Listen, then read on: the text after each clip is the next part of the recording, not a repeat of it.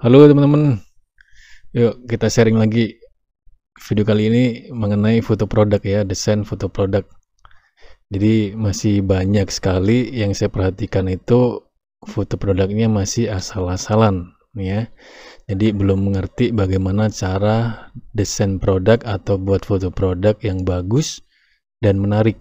Jadi bukan hanya sekedar bagus, tapi juga harus menarik. Oke. Okay?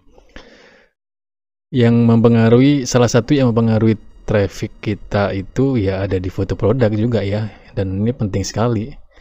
Uh, ketika si calon customer itu masuk di Shopee mereka itu kan ngetikkan kata kunci produk nih. Ya setelah mengetikkan kata kunci produk mereka scroll HP yang dilihat pertama kan foto produknya foto kontenmu ya foto cover produkmu. Oke, jadi bukan dari judulnya atau apa pun itu. Yang dilihat pertama adalah foto produk. Dan untuk scroll HP itu mereka kan cepet banget ya kecepatannya ya kecepatannya cepet banget dan bagaimana cara kita supaya mereka itu stop dan klik produk kita dan masuk ke toko kita ya jadi itu yang dinamakan traffic oke okay? jadi semakin tinggi trafficmu ya potensi laris juga semakin tinggi oke okay? teman-teman pernah ngerasain nggak uh, ketika produk saya udah naik nih di atas tapi kok presentasi kliknya 0, ya 1 0, gitu. Kecil banget gitu loh. Dan itu menurut saya pribadi yang paling uh, faktornya ada ada di foto produk salah satunya ya ada di foto produk. Oke. Okay. di sini saya kasih contoh teman-teman. Ini adalah foto produk dari salah satu member saya sendiri ya. Iklannya ini kenceng iklannya kenceng ya iklan terus tapi kok presentasi kliknya kecil bang dia tanya begitu oh setelah itu saya coba lihat tokonya saya bedah tokonya. Bagus sebenarnya udah rapi ya udah optimal tokonya. Tapi di foto produknya saya sendiri uh, saya sendiri ngelihat sebagai kacamata pembeli gitu ya. Itu kok kurang menarik gitu loh ada yang kurang. Ya salah satunya ini di foto produk ini untuk desain ini sendiri bagus ya sebenarnya bagus profesional ya udah rapi bersih ya. Penataannya juga mantap oke. Okay? tapi kurang menarik gitu loh kurang menarik kurang geli di mata itu. Setelah itu saya kasih saran nih teman-teman. Saya kasih saran coba deh tambahin ini ya. Jadinya seperti ini oke. Okay? saya tambahin beli tiga gratis satu tanpa khawatir gendut lagi. Jadi seperti itu. Jadi yang bikin menarik itu ini jadi buat teman-teman yang jual produk coba deh kasih kata-kata buat yang gede sekalian ya seperti ini. Uh, tulisan seperti ini yang yang ngebuat mereka tuh stop scroll dan mereka tuh klik produk kita ya. Ini teman-teman bisa desain sendiri. Contohnya umpama di sini ya taruh di sini diskon 75% ataupun ya taruh di sini juga boleh ya. Umpama beli beli kaos gratis masker atau gratis ongkir seluruh Indonesia seperti itu. Jadi kata-kata seperti itu yang bikin mereka itu klik produk kita ya. Jadi ketika mereka itu scroll HP setelah baca tulisan ini kemungkinan besar mereka itu bisa klik apa nih beli tiga gratis satu. Jadi seperti itu. Ya. Jadi yang bikin menarik itu bukan dari foto produknya sendiri, tapi tulisannya ini. Ya. Dan yang perlu diperhatikan lagi uh, untuk stiker Shopee ya. Jadi teman-teman harap ngerti nih tata letaknya stiker Shopee itu ada di mana aja. Kalau teman-teman main harga diskon itu kan ada di sini nih stikernya ya. Diskon 50% ada di sini kuning tuh.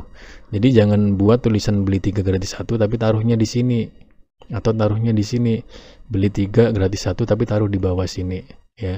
Yang ada ketutup kalau teman-teman di sini kan tempatnya stiker gratis ongkir ekstra ya cashback murah lebay ya.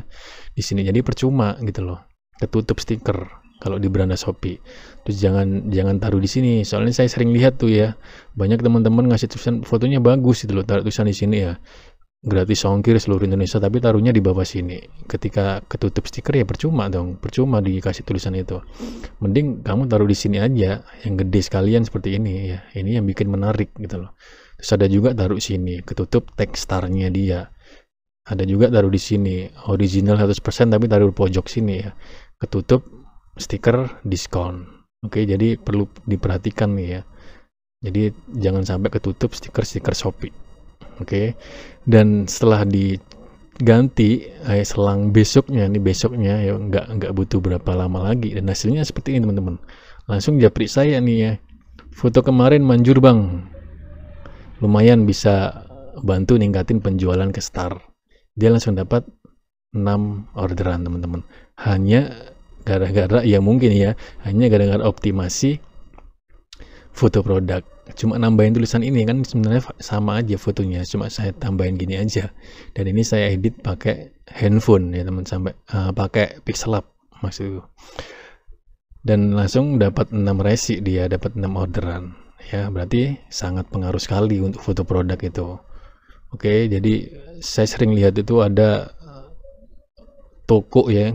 Fotonya itu cuma separuh gini loh fotonya jadi separuh gini terus ada juga yang separuh gini nih. Oke? Okay? jadi jelek banget fotonya jelek banget. Tapi mintanya rame ya nggak bisa kan gitu. Foto produknya aja jelek ya. Ya otomatis presentasi kliknya kecil orang mau mau beli juga males gitu loh. Foto produknya gini di foto HP separuh lagi gini ya. Di screenshot fotonya separuh gini. Jadi percuma gitu loh. Ya mending nggak uh, usah pakai foto itu. Jadi teman-teman wajib edit ya. Apalagi untuk sekarang ini kompetitor sangat banyak sekali. Persaingan sangat ketat sekali. Jadi buat teman-teman yang baru jualan di Shopee itu harus total dioptimasi. Kalau teman-teman dropship ya teman-teman dropship download dulu tuh foto dari supplier terus edit lagi. Bisa kasih apa ganti backgroundnya terus tambahin tulisan-tulisan seperti ini ya harus edit lagi. Jadi upload manual aja yang penting optimal daripada teman-teman scrap masal ribuan tapi sama dengan suppliermu sama dengan kompetitormu. Ya yang ada malah nanti ketemu dengan produk suppliermu sendiri. Yang jelas kita kalau di harga. Foto sama judul sama ya. Jadi kebanyakan viewnya kecil kalau seperti itu. Mending upload manual satu-satu anggap aja semampunya aja umpama satu hari mampu dua hari eh mampu dua produk mama satu hari ya dua produk. Mampu tiga produk ya edit optimasi tiga produk. Kalau satu bulan kan sudah kalau satu hari tiga produk satu bulan kan 90 produk. Ya sudah optimal semua.